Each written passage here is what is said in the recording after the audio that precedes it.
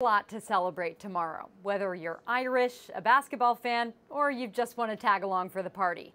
An interventional cardiologist I spoke with said partying too hard on days like these can lead to a potentially dangerous heart condition that picks up around the holidays. There's a thing called holiday heart syndrome where people that have over imbibed uh, can develop atrial fibrillation, which is an abnormal heart rhythm uh, that can lead to stroke and other significant problems. Holiday heart syndrome can be caused by drinking too much and chowing down on some of those salty foods.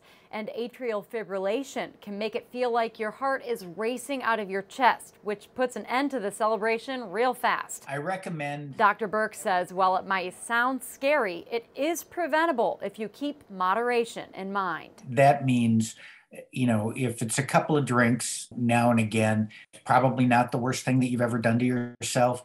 But anything excessive where you're drinking to the point where you're inebriated or you've lost any kind of control is just a bad thing for your health. He says another thing to keep in mind is all of the calories associated with alcohol.